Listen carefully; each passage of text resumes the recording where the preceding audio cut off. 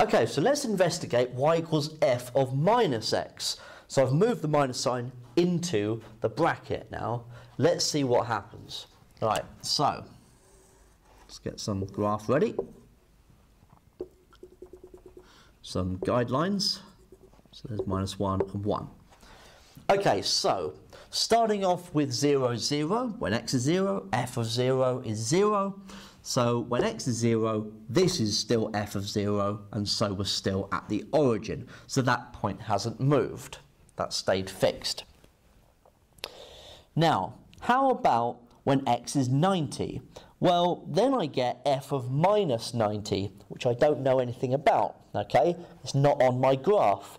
So that means that the curve doesn't exist when x is 90. Okay, so in fact, any of these points, 90, 180, 273, 60, none of these points actually exist over here.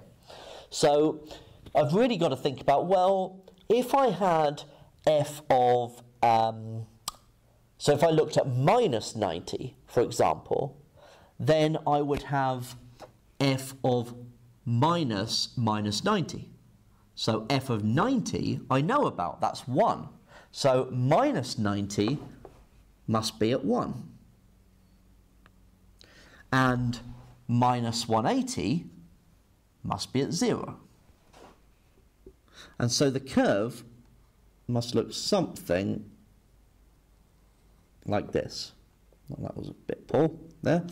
Okay, so there's minus 90, there's minus 180, there's minus 270, and there's minus 360 still going between minus 1 and 1. So what's happened is that the curve has, instead of being reflected in the x-axis like last time, this is a reflection in the y-axis. All of the x-coordinates have changed sign.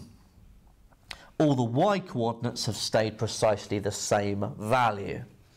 So when we're looking at y equals f of x, being transformed to y equals f of minus x, this is known as a reflection in the y-axis. Okay? So that is how we investigate this f of minus x.